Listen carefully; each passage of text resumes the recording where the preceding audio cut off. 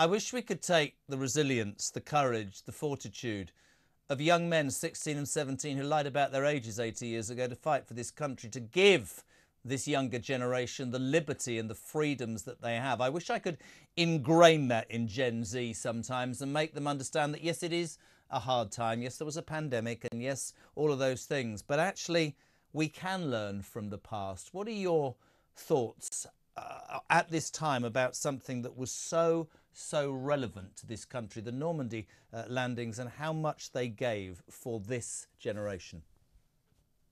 Yeah, I mean, it's a, that it's a fascinating question. I mean, as a former military guy, I do quite a lot of work with the veteran community. Uh, interviewed a guy uh, called Colin Bell, Lieutenant Colin Bell, DFC, only two weeks ago. He's 103 years old and uh, still sharp as a button.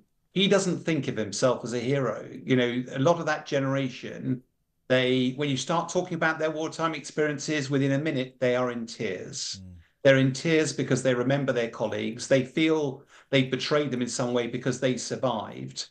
And they don't like talking about it because they witnessed the horrors of war. They had to do some dreadful deeds in order to prevail. And they compartmentalize it all.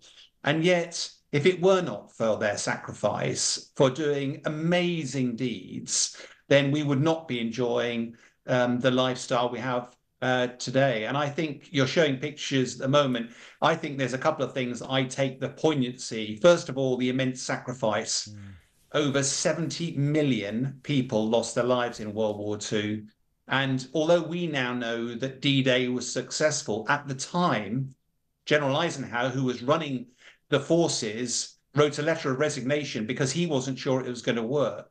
The original plan had been to go in a year earlier, but the military chief said, We're just not ready. And even on the eve of it, Churchill had grave reservations. But on that Operation Overlord, the first day of liberating Europe, 156,000 people made it across to France, 7,000 ships, four and a half thousand people had died by the end of that one day. And that sacrifice started a chain of events that 11 months later finished the war. And I think for me, for many of those veterans, this is the last opportunity. We're going to see many of those. Most of them, even the youngest, are well into their 90s now. They're all humble. They remember their fallen comrades, and it's important they have the chance um, to remember.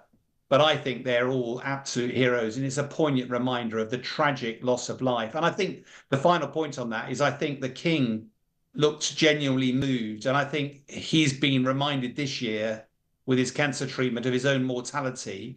His mother um, had served in the military in the Second World War, and I think he was very keen to pay his personal respects. And I think it wasn't just an act of that he had to as the monarchy. I think for him it was very poignant, and I think that reflects across the whole nation. It, it, so well said, Sean. And, and, I thought today about my mother was in the Second World War and uh, the Women's Royal Air Force, and you think about you know, I know the world has changed, right? And I know that, uh, you know, my kids will say, oh, you're so old and fuddy duddy and whatever. But I just think that some of those values, some of those, just the way you, you, words you used, humble. Nowadays, if you, I don't know, if you cut your toenails, you expect to get, you know, complimented. These people gave so much. Do you think, here's a wider question for you before I ask you about the other story in the news about troops today. Think we do enough for our veterans, Sean, because I don't.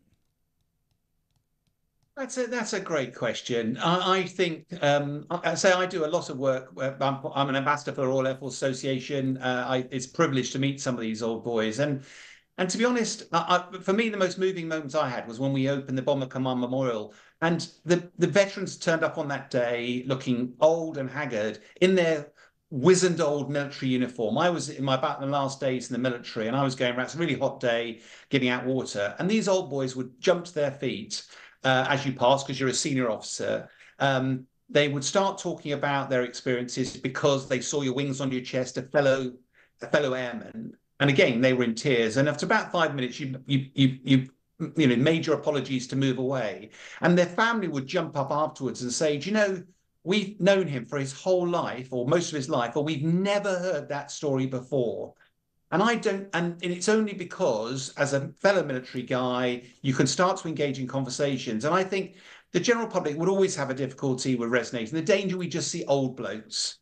And actually, they've lived a life and they have made some sacrifices that, you know, bluntly, I wonder if I could have ever stepped up to do some of the things that they could do. And I think the tragedy of getting old is we do just see them as bed blockers, whereas the harsh reality is there's a last generation of heroes that are about to pass. This 80th anniversary is the last major one that I suspect any of them is going to witness. And I think it's absolutely appropriate we take a moment, particularly because the world at the moment is looking as a more dangerous place than ever. And there's a feeling of deja vu with Russia invading the European continent, nervousness about our political masters about what to do about it, a sense of appeasement because nobody wants to go to war.